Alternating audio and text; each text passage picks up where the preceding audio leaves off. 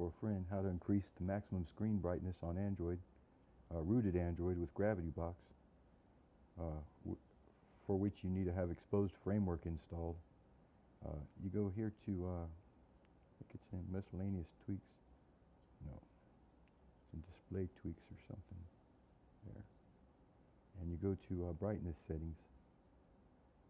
And right there, you can set the minimum minimum brightness level for uh, uh, as low as it'll go, and then auto brightness levels. I know it says auto brightness, but for some reason this this will increase your your maximum.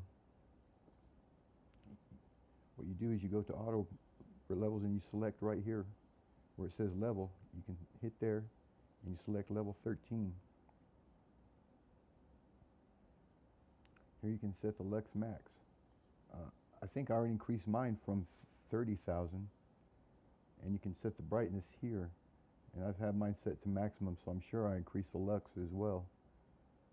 Uh, so I think it was 30,000 and I, I, forget what the brightness was. I think it was 245 or maybe 250 and I turned it up to 255 and and up the lux. Uh, I think the lux I'm not exactly sure but it might be the power level going in but I'm not I'm not exactly sure on that I think that's the actual maybe the, the reading of the light output how bright it really is, I'm really not sure. But uh, that's how to set it anyway. And I increased mine by 5,000, I'm pretty sure. But then when you get it where you want it, just hit set. And I tell you, my, my screen is going super bright.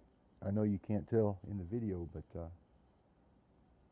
I mean, it is just like blinding. Anyway, uh, that's how to do it.